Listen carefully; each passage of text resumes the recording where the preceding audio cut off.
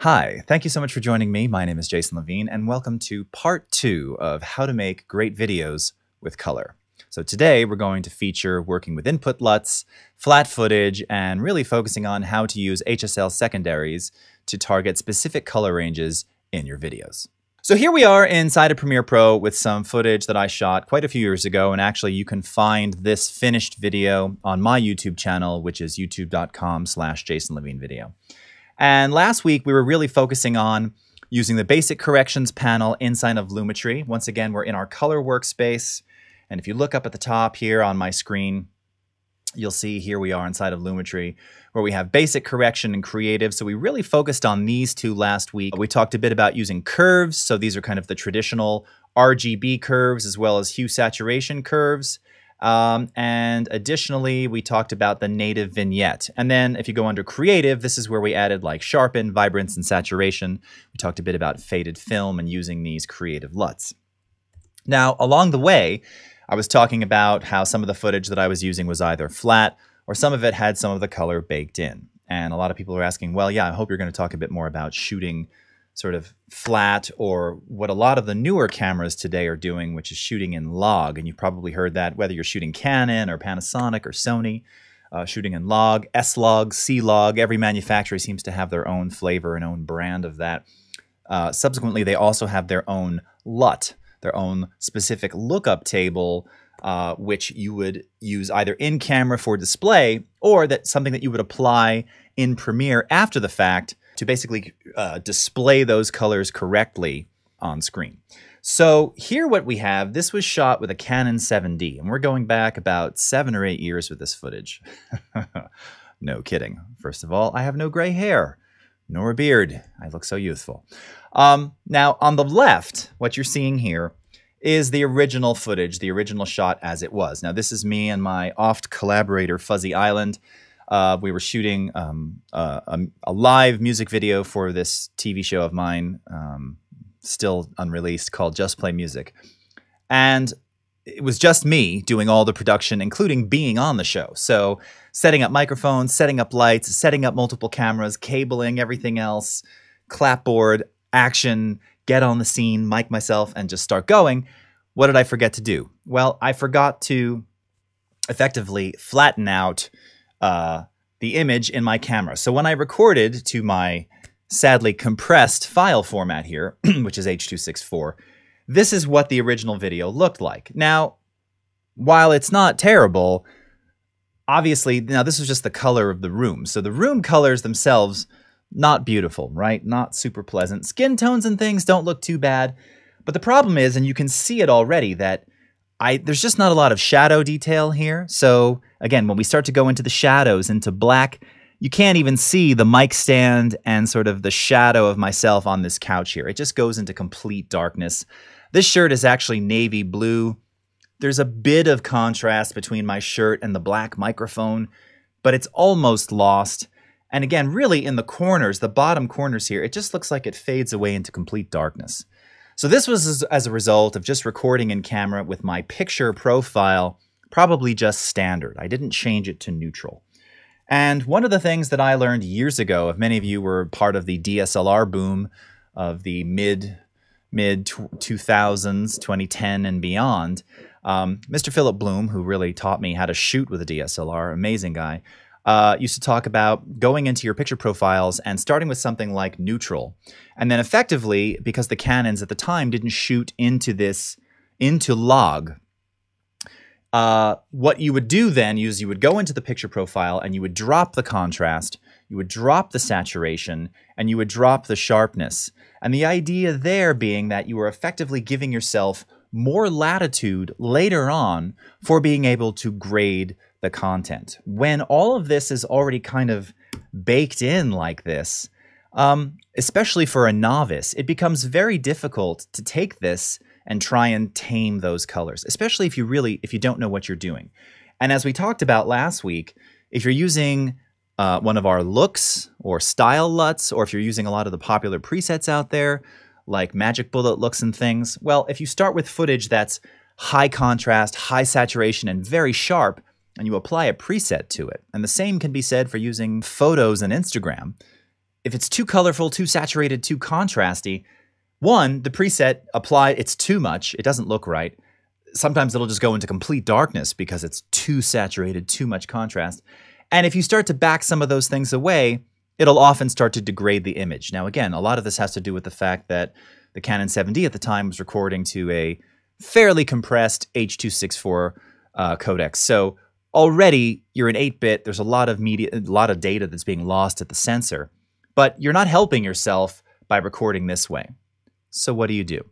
Well, when we first introduced Lumetri Color, now some of this has changed, and I'm going to point out a couple of things which are hmm, questionable, but I'm going to show them to you because this can help, uh, especially if you're really just kind of getting into this, just trying to do this for fun, and start trying to get creative with color and had problems in the past. Now, obviously, you can use the basic correction panel to remove con you know to minimize contrast and readjust exposure highlights bring up the shadows etc but as mentioned um, we do have this input LUT section here okay and the input LUT again where we talked about last week input LUTs and display LUTs your input LUT is basically used to interpret that footage and interpret that content in a particular way and before uh, probably about 18 months ago, maybe even two years ago, before we sort of updated some of the presets and the creative LUTs inside of Lumetri, you used to have to apply an input LUT to your content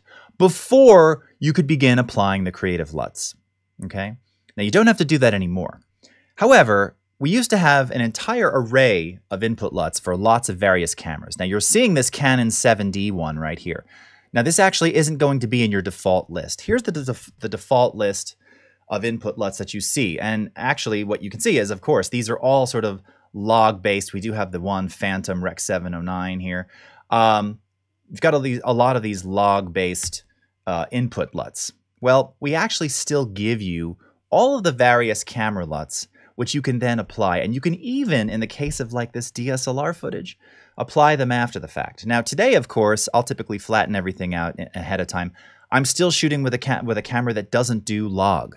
Okay, people are talking a lot about log. It's really got to do with the tonal range of the sensor and maximizing your dynamic range. If you shoot in log, you're going to have the maximum amount of dynamic range, assuming, of course, that you're also recording to something like ProRes 10 or 12 bit, uh, Cineform, GoPro Cineform, as we mentioned, DNX HD or DNX HR if you're shooting in log and you know recording to H.264 or AVC HD, and some of them are very compressed, you're you're kind of not really going to get all the benefits of shooting in log. And in fact, when you go to grade after the fact or reapply a specific input LUT, you might already degrade your signal.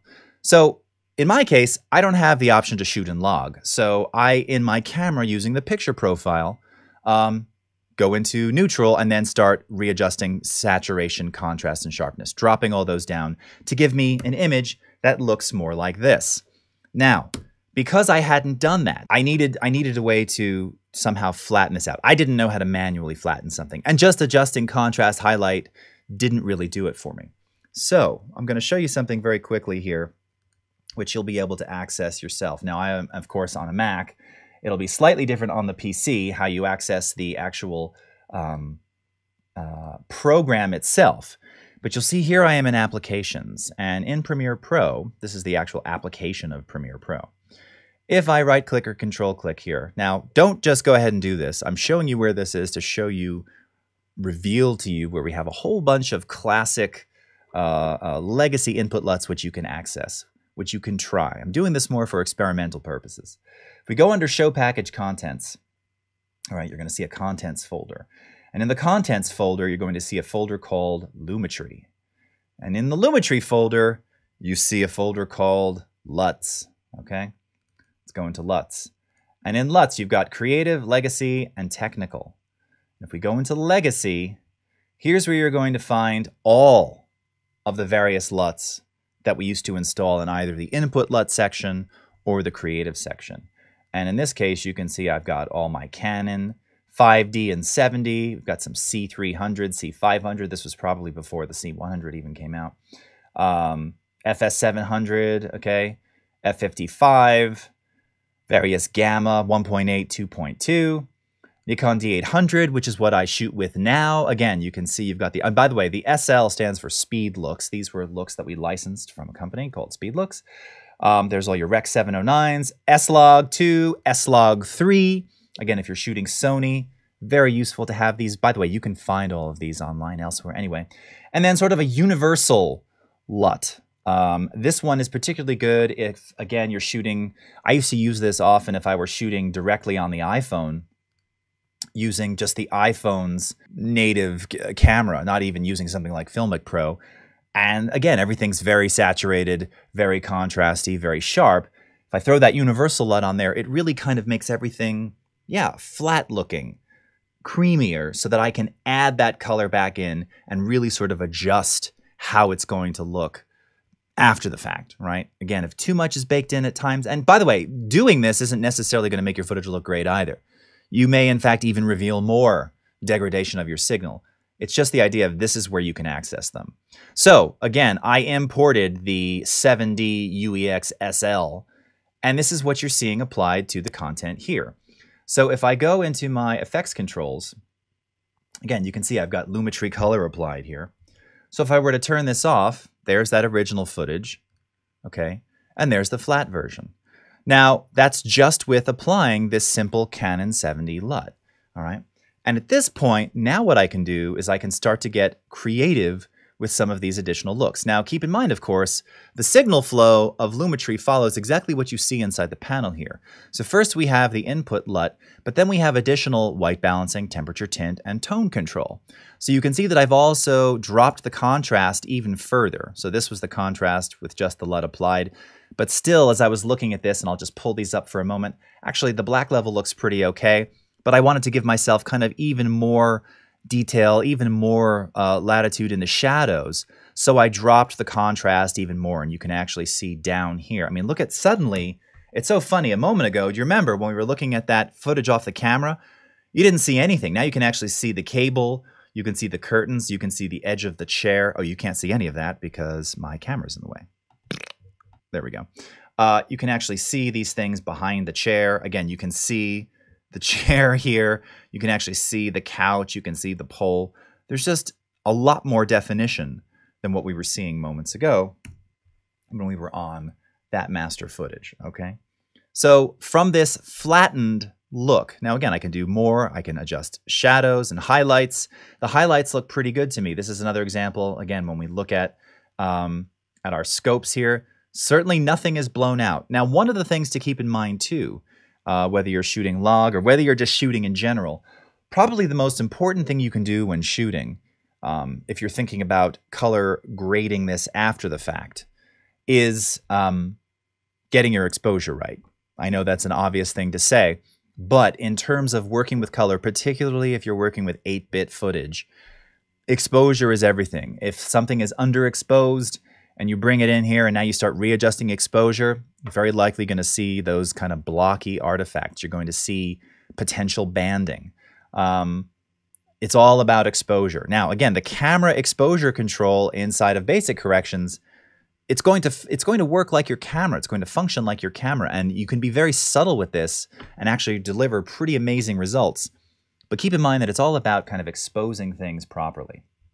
Okay, so once we did this to the footage, and again, the only additional change that I made to this was contrast, I'm just going to show you real quickly a couple of the examples of sort of the graded look that was applied on top of this via the creative panel, all right? And then we're going to get in we're going to get into a couple different examples of these various looks, okay? So here's one, and I'll just play a little bit of this back. You can also see that I've got this film uh, film grain overlay. I think this came from Gorilla Grain. This one here, I think it's a 16 millimeter, super, super grainy uh, overlay. I've got this playing back at quarter resolution. But uh, you can see, if you take a look here, I've actually got an adjustment layer applied. Where's that adjustment layer? Let's go into our effects controls here. Okay. Let's, you know, let's turn off that grain because it's kind of getting in the way. All right. Got an adjustment layer applied here.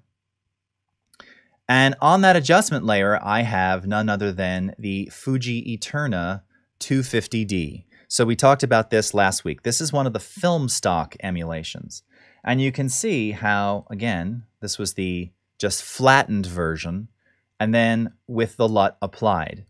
And you can see how it just brought back a little bit more of the color, but also because we're using this film stock LUT, it kind of gives it that more classic feel. Elements of this are softened. Um, the color isn't, it's not as vibrant, but it was also just too much before. It looked way too digital, super harsh. Now it's kind of smooth and it kind of feels like I wanted it to feel. Again, when you take a look at something like this, and we go back into that uh, source material, I mean, you know, look at those curtains, everything, that green. I mean, this, it's funny.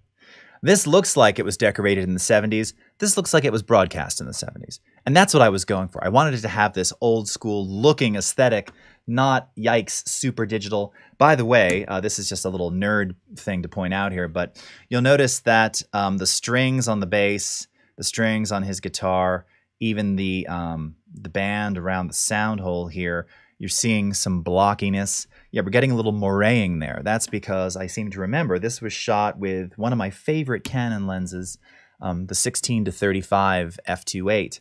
And I was probably I was probably all the way out. I mean, you have to realize we were in a very small room. I had to get both of us. It was very and I had to guess where the edge of the bass was. So because I was below 24 millimeters on the the original 7D, um, you're getting that moraying, right? That sort of jagged look here on those strings. Um, obviously, if you shoot above 24 millimeter, that's not an issue. And the newer Canon DSLRs have that anti-moraying filter, so you won't see that anymore. Unfortunately, not a heck of a lot you can do about that.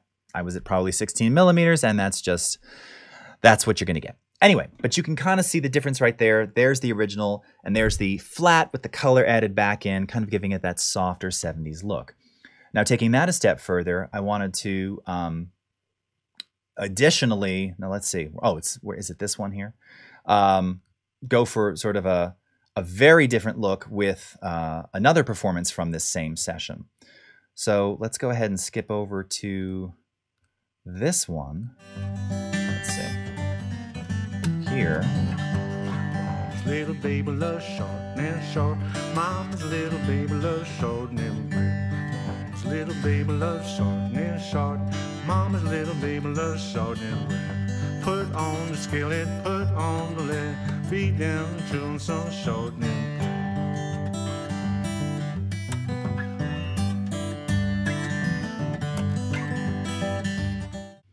Let's talk about HSL secondaries, secondary color correction. I'm going to show you three examples of this. Uh, color correcting something in the shot, like this jacket here, color correcting skin, and then using this technique for replacing sky.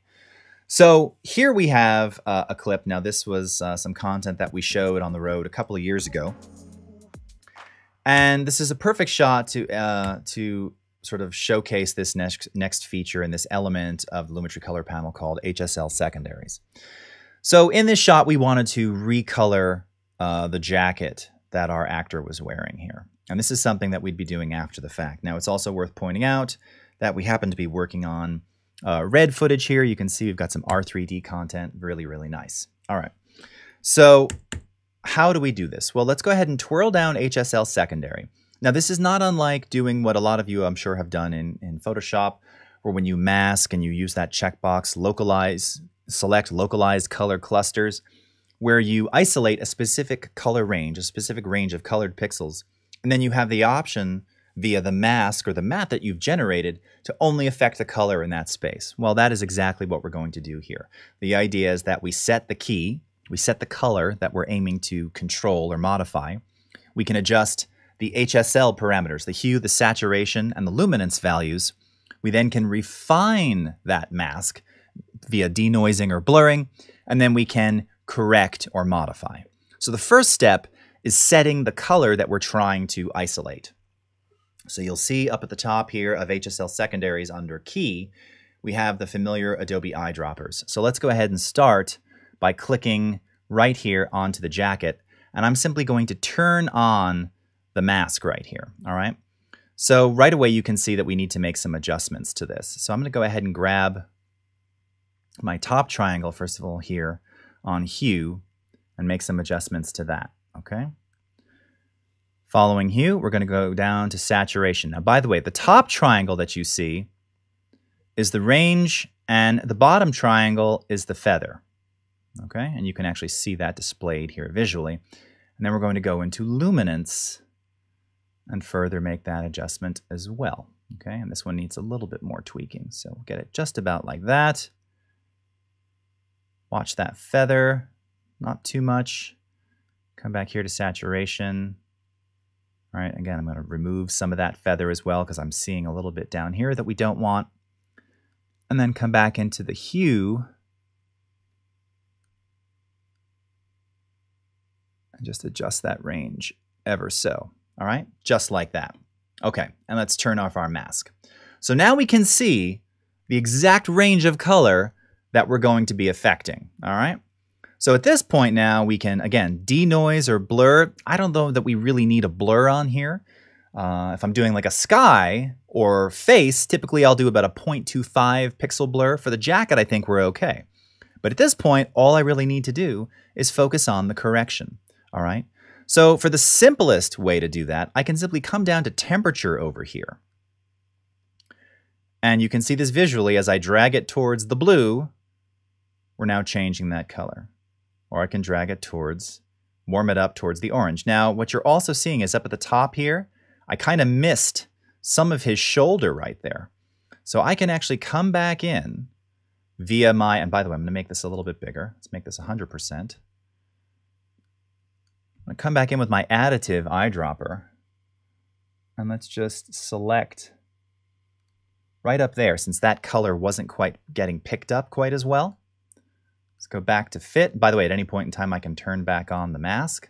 And you can see now we're actually seeing that whole range. You can see the edge uh, of his shoulder there. So we brought that color back in. Pretty good. All right. Come back down here. Let's make it nice and purple. All right. Let's fit this back into view, okay? And we can do additional corrections here if we so desire. All right, something like this. Okay. Let's make this very, very noticeably different. Okay. Now remember, of course, this is live video. So as we play this, just as I showed you last week, we have uninterrupted playback, which allows us to kind of go A and B on and off to see how this is affecting the shot very easily. No skill required. Set your key, refine the key, correct the pixels in that key or in the mask. Really easy. Now, where this becomes extremely useful in a case like this is that we have multiple shots where he's in this jacket that we need to fix. So one of the easiest things to do, and we talked about this last week, is to leverage copy-paste attributes. So I can simply right click copy like this. And let's skip ahead to where we see the jacket again. Oh, missed it. All right. Here's the shot. Right click, paste attributes, paste Lumetri color. Okay. Purple jacket. Real simple. Before, after. You might think, well, how does it do that? How does it? Well, because it's the same color range, right? Now, keep in mind, um, lighting, all of these things will affect uh, how it actually appears in the shot. So this shot, the lighting was actually, while it's obviously not as bright, fairly similar. So it worked really, really nicely. Uh, if we back up over here, again, the range that we're actually seeing on screen here is it's it's a little different. So if we paste the attributes, I'm not so 100% sure it's going to do it exactly what we want. Um, yeah, so we'd have to come in and refine this because, again, these darker hues, because of the lighting, because of the shot, they're not part of the sample that we took. So we might have to go in and individually tweak, but we've got a starting point, right? And as you can see, even in a shot like this, it just worked really, really nicely. So we probably go in and just individually tweak this one and get those colors back into range really simply, okay? So that's using HSL secondaries to control color, like again on a specific article. You can imagine, I've done this before, changing the color of someone's glasses or changing the color of a hat or a shirt or something like that, or some specific element in the shot, you can do very, very easily via HSL secondaries. Where this becomes, again, very, very useful is in using this for skin tone, where you might have done a little bit of work on the overall shot, but we really just want to focus on enhancing skin tone, right? And this can be done after you've done your basic grade. Um, this is done virtually, I'm imagining, on every sort of thing you see on television and or Netflix or wherever, specifically when you see things where everyone's just sort of that orange, you know, kind of look. Um, that's post, that's, that's all grading, right? You know, as much as I would love to have a daily spray tan, you know, it's just it's just as easy to do it on screen via HSL secondary. So the same concept applies here, where we're going to take our sample and then refine that sample. So once again, here we have this footage from Egypt. Let's come in with our eyedropper and make a sample on his face. Okay, and you can see immediately how the range of color here on HSL um, changes and moves. Now, I probably need to make additional samples before I even begin adjusting those parameters. So let's again come back in here. I'll select his cheek. Now you might say, oh, but it's picking up all this other stuff in the background. Well, yes, these are the skin tones. Similar skin tones around him are also being picked up as well. All right. Now at this point, uh, if we turn back off the mask, I'm just kind of looking to see. Yeah, I mean, there's some areas in his beard right there. Let's turn back on the mask. Grab that additive op eyedropper there. Whoops, okay, that's too much. Let's back off on that. Let's Back off on that. Okay, starting to look pretty good. Now here's where, again, we have to be careful because, all right, you know, he's got some stubble in there, but we can probably refine this a little bit better. So we'll come into the luminance here, all right, something like that. This is where we add a little bit of feather. Saturation. Okay. Now you see it's not affecting his eyebrows or his hair. Why? Because those skin tones aren't in the eyebrows and hair. Okay. A little bit of feathering there. And let's readjust the range. Okay. And I'm not, you know, this isn't perfect, but we'll worry about that in a minute. Okay. Little bit of that in his lips, just a tad, just a tad, okay? Now this is where, again, I might add a little bit of blur. So I'm going to add about a 2.5, a 0.25 pixel blur. Whoops, not a 21.7% pixel blur. 0.25, all right? Like that. And now, if I simply want to warm up the skin tone, I can do just that, okay? Or we can cool it off, or we can desaturate. Okay. Or we can add a little bit of contrast just to the skin tone without affecting everything else in the shot. And this is where if I wanted to get a little bit uh, more of a cinematic feeling here, again, I love the skin tone. I like the background. I like the light and kind of the soft color behind us. Um, maybe we'll just add a little bit of a subtle vignette on here, okay? Something like this just to darken the corners. Now you'll remember from last week, this was shot with the 18 to 135 non-fixed aperture f3.5 to f5.6. So as I zoom out, you'll see those little flickers. But as we play this back, okay, you can see real nicely, look at how wonderful the skin tone looks. Again, here's before, here's after. Before, after. Okay? And it didn't touch the reds, it didn't touch the blues, it didn't touch any of the other colors that weren't in that specific range. Now remember, of course, we still have, again, the ability to modify other elements in the overall shot here. So now if we were to go make a change, you know, to the temperature here, now that's going to affect everything, including, you know, obviously bits of what we already selected on our face there. So we can further control the overall look of this shot. Okay. Maybe go into creative now. This is again where applying a LUT here, uh, careful, you know, I'm not sure what it's going to do there. Um, something like that. And that kind of looks sort of documentary-ish, kind of like that. Sky is quite a bit blown out there, though. Yeah, see, to me, that looks way nicer, okay? And as we reference our scopes real quickly here, let's go to our Lumetri scopes. Okay. Got some stuff in the shadows here. It's just really pegging kind of crushed, crushed levels. Again, we'll talk more about this next week. But the shot, it really, it's really kind of come to life, you know, just by adjusting those skin tones. Okay. real easily, real simply. And this kind of gives you, again, a good look at that original shot before we affected the skin tone and after with the additional corrections that we did here. So that's using it for skin tones, HSL secondaries for skin tones. Now, the last thing I'm going to show you uh, with regard to HSL secondaries here, and then I'll show you a couple of before and after examples, is using this as a very, very basic technique for sky replacement or alteration. So here we have again a shot of the Sphinx and, and the Big Pyramid. And this was just how the sky looked. It was a beautiful day.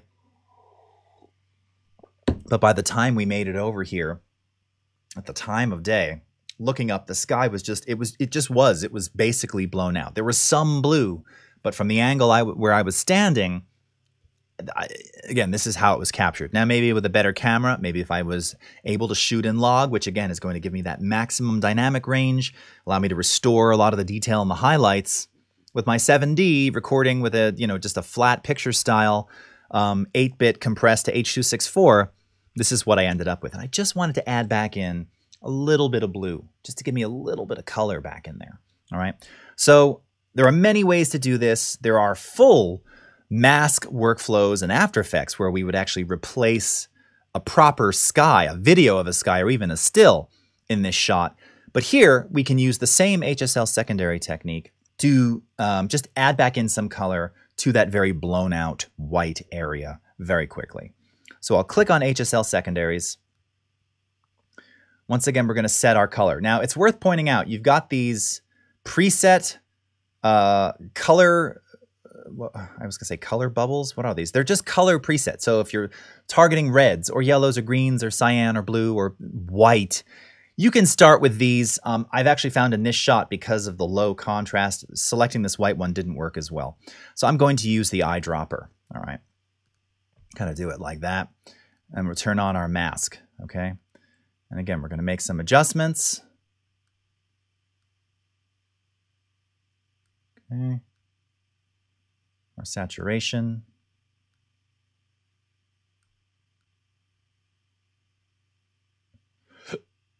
All right, like that. And come down into luminance. Okay.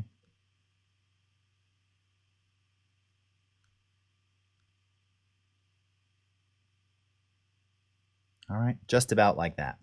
And because of the nature of this, I'm actually going to add a little bit of blur. Now, again, I don't want to add too much blur because then we're going to end up with something like that, which almost looks beveled. but very, very subtle amount of blur, you know, like a 0.3, just to kind of soften that edge because the idea here is that we're going to be adding some color back in. So as mentioned, come over here. All right, let's start with our temperature. And then there's just dial a little bit of blue back in there. All right. Something like that. We can go ahead and loop this.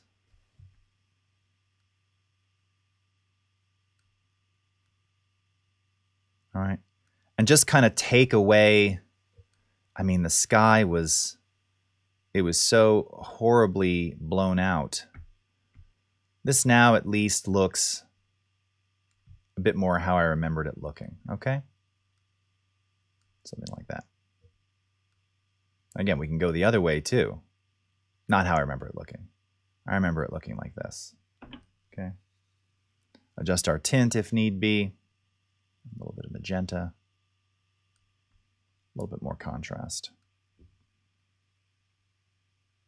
Before, after. Okay. It's subtle. There's not much to go on here. Again, completely blown out, but a very quick way to add some of that back in. Now, once again, if we wanted to go even further on this, because we have access to the whole shot here, um, via basic corrections and or the creative looks, you know, we might be able to accentuate, you know, see that one's not going to work. Again, this is, you're seeing how these are being affected after applying that, that one might be okay. You know, this is where we might have to go into something like one of these uh, blue steel or something like that. You know, that's kind of working in terms of a stylistic feeling, but maybe not overall. All right, that one actually looks pretty good. Fuji Clean. All right, we can intensify that. Increase vibrance. All right. And if we add a little bit of a vignette here to add a little more drama, that's going to increase kind of the darkness of the blue in the corners there. Go to our effects controls. Before, after, before, after. And that now feels exactly as I how I remembered it when this was shot way back when. Okay. Cool. So, basic corrections, input LUTs, creative LUTs as we discussed last week, HSL secondaries. All right. Now, what I wanted to show you the last thing here was just because my project files, um, for whatever reason, my sequences got a bit, a bit mangled there. Not quite sure what happened. Let me instead, I've got um, a whole bunch of before and afters here that I wanted to show you. So I'm just going to pull up my media browser over here. I think these are side by side. Yeah, okay, cool. All right, so let's go back to this. So again, this is stuff that I did uh, a while ago, but just as valid now, and if anything, maybe even more so, because you can kind of appreciate the change. Now, I also want to point out this was this stuff was about five years ago. Um, how I grade now is a bit more subtle. Remember, we talked about this last week. Very easy to overdo a lot of these processes. But this just kind of shows you, um, here we go, like full screen, and I'll turn the camera off for a second here. Uh, on the left, you've got your pre-noise reduction, pre-grade, ISO 2500 in total darkness, post-noise reduction, post-grade on the right. All right. Now this again is a shot done in darkness, but that was done. This was shot with the um, the 200 to 400 f4 on the D4 on the Nikon D4. So, I mean, just look, there's just some really beautiful, again, shallow depth of field here, probably shooting at f4 at ISO 2500 um, on this leopard in the dark, which is really, really cool. Uh, let's see, this is another one here. Uh, this is another cool one. Again, we're seeing the in-camera, flattened, desaturated, de-sharpened, desat, you know, de-contrasted look. And then here's the post-graded version. Now, where this gets really, and there's some very beautiful, again, sharpness here, naturally done just via the lens. And I'm, I'm focusing as he's moving there. Here's a good example, though, where you can really see how you, you start to bring out detail, um, again, kind of in the background there and the color of those leaves. You know, look at there, there was a lot of noise in this shot. By the way, I used that neat video noise reduction, N-E-A-T, to tackle that color noise. I don't know how much of that's coming through on stream. It just looks really beautiful and smooth and clear here. Um, all right, let's do, let's see, hippos and water bucks. This is a good one, lioness and cubs, yeah. A bit more subtle here, but kind of gives you the idea. By the way, this also showcases uh, Premiere Pro's Warp Stabilizer. So this is the original shot on the left and then the stabilized and graded shot on the right. By the way, the crop is less aggressive these days. Again, this was shot a couple of years ago. Um, here's another example here.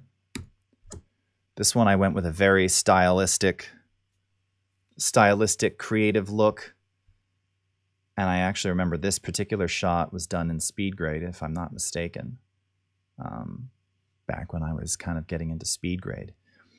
But this also speaks to, you know, this was shot on the D800, but I didn't use the HDMI out. I was just recording directly to the admittedly higher bitrate H.264, but MPEG-4 nonetheless. And you can still see there's a lot of beautiful shadow detail there. Okay. Now this one here with the elephant, this is a bit more aggressive. I don't, I wouldn't grade this like this now because I really crushed the blacks a bit too much, but it just kind of shows you that very desaturated flat look on the left and really just bringing up the highlights and the detail um, on the right side, okay? In a super clean way. And uh, last one here. Oh, is that not a side-by-side? -side? Here's a side-by-side. -side.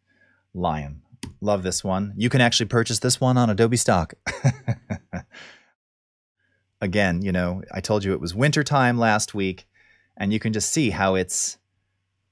I mean, there's just nothing there. It's really almost mono, monochromatic looking, but suddenly you start adding some of that color back in when you start, you know, adjusting contrast, getting a little bit creative.